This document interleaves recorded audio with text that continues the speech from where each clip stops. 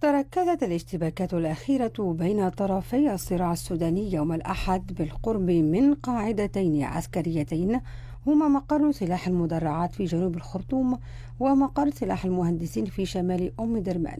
وقالت القوات المسلحة السودانية إنها صدت هجوما شنته قوات الدعم السريع على مقر سلاح المدرعات.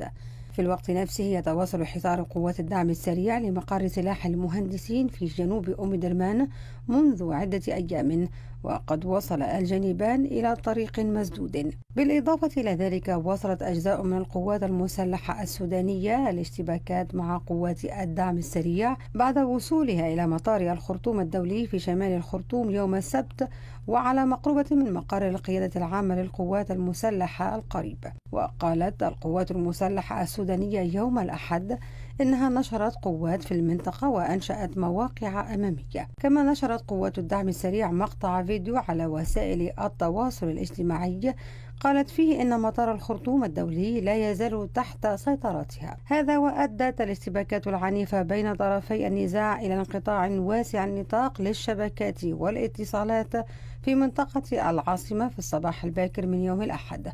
واستمر الحال على ما هو عليه لأكثر من عشر ساعات.